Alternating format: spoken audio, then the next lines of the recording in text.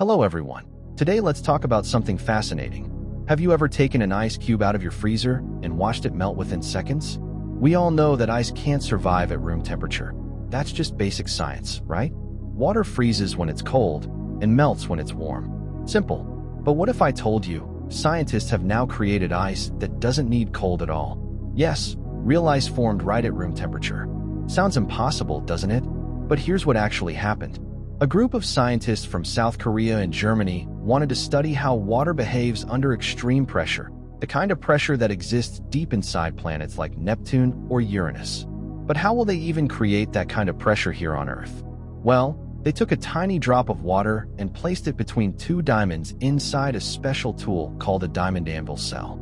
Now, when the scientists pressed them together, they squeezed the water with nearly 20,000 times the pressure of normal air, that's like trying to fit a mountain into a teacup. By doing this, the water didn't stay liquid. Even though the temperature was normal, not cold at all, the molecules rearranged themselves into a solid crystal.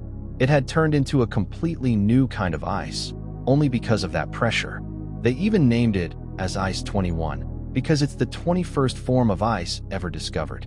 Until now, we only knew about 20 different kinds of ice, some shaped like cubes, some like hexagons. So the shape I mention here is not the external appearance. Rather, they're about the arrangement of water molecules inside the ice, which can be achieved in different environments. But ice 21 that can form at room temperature, all you need is that pressure and not the cold environment. Now, I'd like to add something that most articles didn't cover. So once you make this ice, you can't just keep this ice on your table or store it like regular ice cubes. The moment the pressure is released, it loses its structure and turns back into normal water. That's because this ice only exists under extreme pressure. It literally needs that force to stay solid. Well, you might be wondering, if it's called ice, doesn't that mean it's cold? Actually, no. That's the surprising part. This new kind of ice isn't cold at all. It forms at room temperature. What makes it solid isn't the temperature, it's the pressure. Here's the simplest way to put it. Whenever water turns solid, whether it's cold or not, it's still called ice. Duh.